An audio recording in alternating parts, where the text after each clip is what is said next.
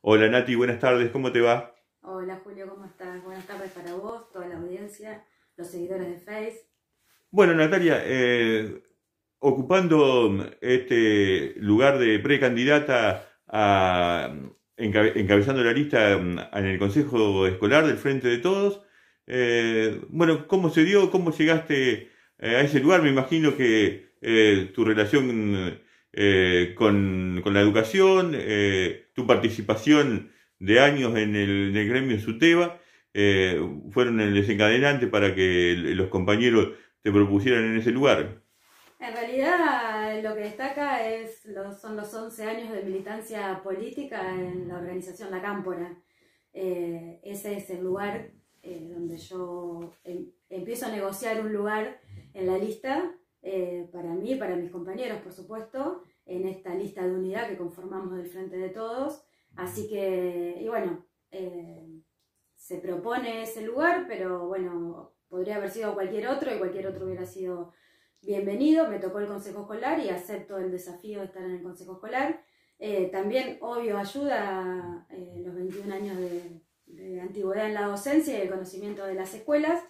Pero bueno, pensemos que también el, el, Consejo Escolar no tiene que ver con lo pedagógico, sino que tiene que ver concretamente con el sostenimiento de, las escuelas y de alguna manera eh, el consejo es eh, un canal para mejorar eh,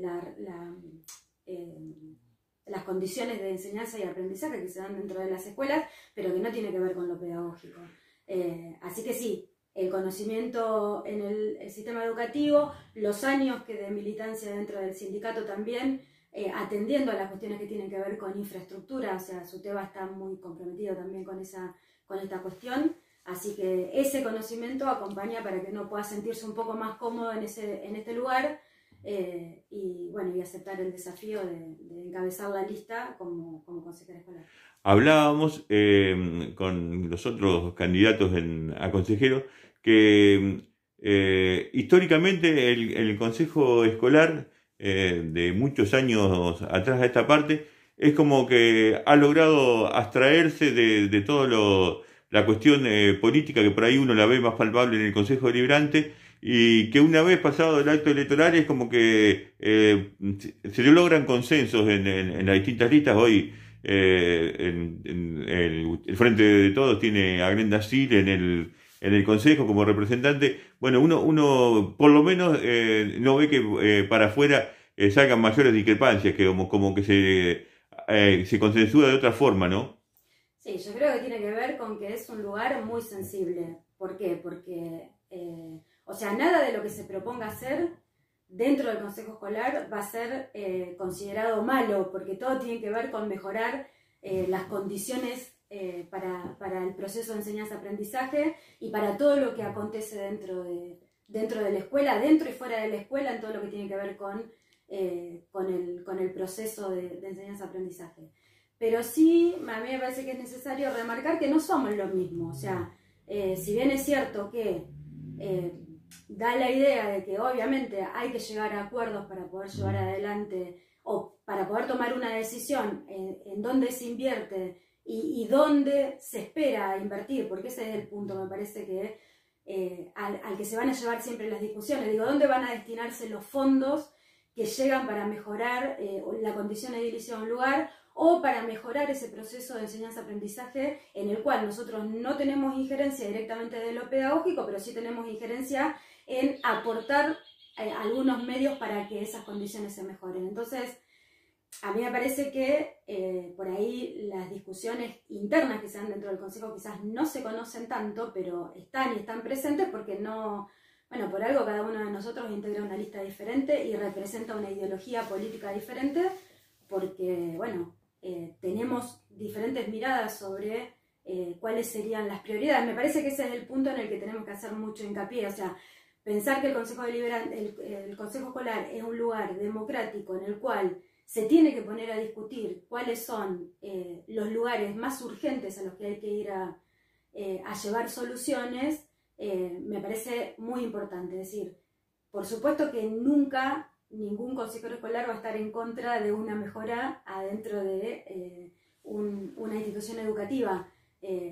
pero sí lo que, se, lo que se va a dar adentro, o lo que se debe dar adentro es la discusión a dónde, van, eh, dónde se destinan prioritariamente esos fondos que vienen de, eh, que vienen, eh, de provincia o, esos fondos propios o los fondos que vienen de nación. ¿no? Y además tener en cuenta otra cuestión, que no solamente es lo edilicio, ¿sí? no solamente hablamos de infraestructura, sino que el Consejo Escolar también abarca hacia otros, otros lugares. ¿no? Cuando yo te decía hoy esto de, ser el canal para mejorar situaciones de enseñanza-aprendizaje, digo, también pensar en el fomento de, la conformación de las cooperadoras, eh, volver a, valorizar a la cooperadora ya no solamente eh, por el papá que manda su, o la mamá o, la familia que manda a su niño o niña a la escuela, sino pensar en la escuela como parte de la comunidad eh, y pensar en la gente en el barrio, ¿no? Ese barrio que se vuelva a comprometer con esa escuela que está en su barrio y revalorizar ese lugar, ¿no? Pensando en, también en destinar fondos hacia otros lugares. No sé, bueno, en este tiempo, en estos últimos años hemos estado en pandemia, pero hay cuestiones que no, no se han llevado tanto a la práctica en la escuelas porque no se ha podido.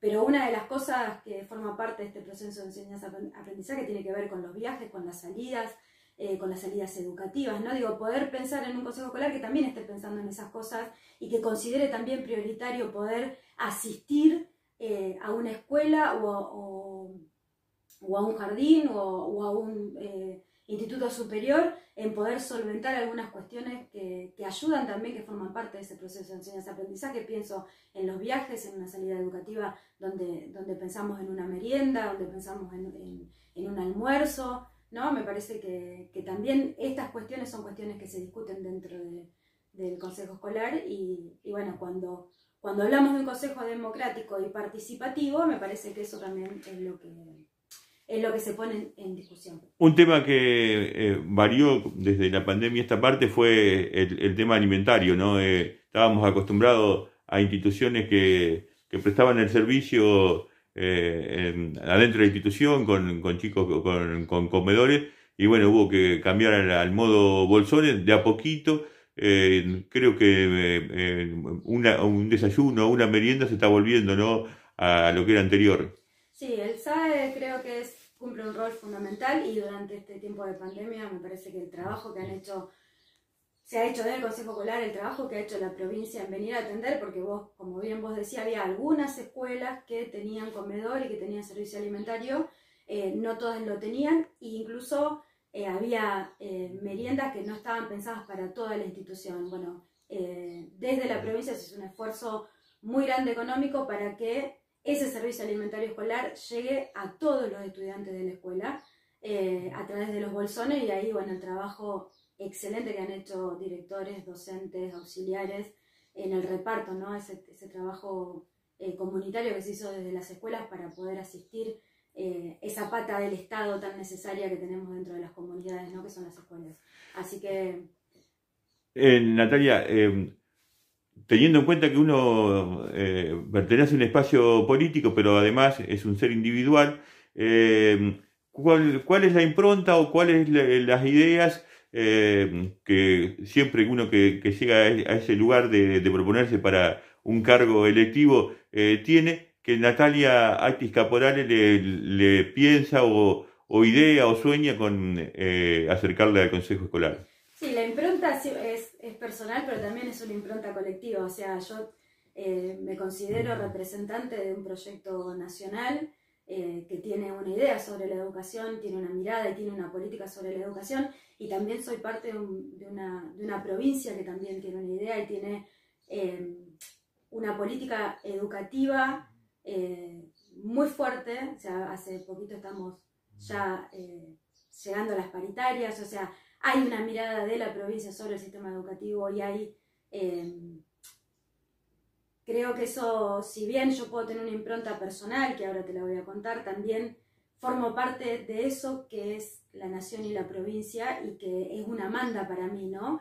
Cuando, cuando si yo tengo la posibilidad de ingresar al Consejo Escolar, voy a venir con ese aporte que me va a estar dando la nación y la provincia, que es lo que yo tengo que venir a discutir en el Consejo Escolar. Y fundamentalmente me parece que es eh, básico, porque yo te puedo proponer un montón de cosas, Julio, a partir de lo que uno conoce eh, en el recorrido de las que hace siempre en las escuelas, pero me parece que es fundamental eh, como impronta el caminar el territorio. O sea, básico para uno saber cuál es la mayor necesidad que está teniendo una escuela, cuál es la mayor problemática que están teniendo los auxiliares dentro de una escuela o, la problemática que se le presenta a un directivo o a un docente, me parece que es pisar el territorio, pisar la escuela, estar presente y esa es la impronta que le queremos poner eh, al Consejo Escolar en Capitán Sarmiento. El recorrido eh, a las escuelas creo que es fundamental, eh, el diálogo y la conversación con, con los actores institucionales me parece que es básico y eso es lo que queremos traer a Capitán Sarmiento, queremos seguir acompañando de lo que se venía haciendo.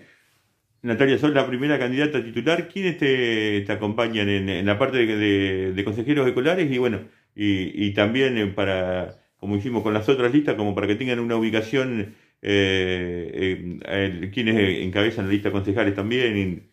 Bueno, como consejeros escolares estoy yo en primer lugar, me acompaña Nahuel Matas, un compañero que está estudiando, terminando su carrera de profesorado eh, de nivel primario, pero que además es eh, técnico en seguridad e higiene, algo muy importante me parece para el consejo escolar. Eh, me siguen en la lista Rocío Pereira, la compañera de la Luisa, recibían fines, eh, ese, ese, sistema eh, implementado para poder terminar la escuela secundaria. Ella terminó su escuela secundaria en en la Luisa, gracias al fines. Eh, y me acompaña también Santiago Jofre, que es estudiante de profesorado de música, que ya está trabajando en las escuelas en Capitán Sarmiento, San Antonio de Areco y Arrecifes. Y la lista la encabeza Leonel Antonucci, eh, como primer eh, concejal, Luciano Izquierdo, eh, Luciano Cremachi, Lucho, eh, Luz Ferrá, le sigue Fito Longobuco y en el sexto lugar eh, Romina González, ahí me, me trabé, Romina González está en el sexto lugar, en primer lugar como suplente está Pedro Proserpio, en segundo lugar Judith Solesio, y ahí me crucé. En sexto lugar está Karina Sosa, en segundo lugar está Judith como suplente. En tercer lugar suplente está Jonathan Medina. Y en cuarto lugar suplente está Romina González. Eh, el próximo mes de septiembre la gente va a tener que pasar por el cuarto oscuro, poner el, el botito en la urna. Eh, bueno, eh, a ellos hablarles que eh, por qué tienen que, que, votar esta lista y por qué eh, tienen que ayudar a que llegue al Consejo Escolar. Bueno, invitar a la comunidad primero a que se acerque a votar como un acto democrático, eh, como una fiesta de la democracia, que nos elija a nosotros porque somos parte de un proyecto nacional y provincial que ha cuidado a la gente, que se ha ocupado de la salud, que ha devuelto eh, los, medicamentos a los, a los jubilados, eh, que es en este tiempo de pandemia eh, se ha ocupado de la población, se ha ocupado de la economía de, la gente que se quedó sin trabajo a través de, distintos programas que se pusieron en funcionamiento para que la gente pudiera solventarse.